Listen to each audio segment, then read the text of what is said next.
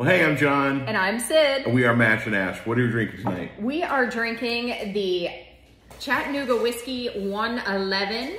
Yeah.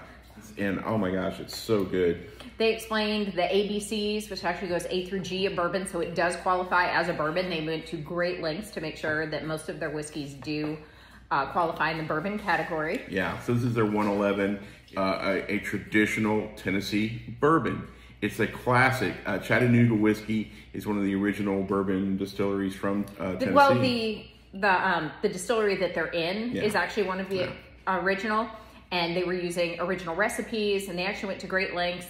They have a fantastic history, and what they've done for Tennessee and for Tennessee whiskey and distilling is just amazing. So definitely check them out. That's right. But yeah, I love yeah. this one. Yeah, tell me if you uh, if you've tried Chattanooga whiskey, if you tried the Chattanooga 111, and what are your thoughts? We'll see you in the next video.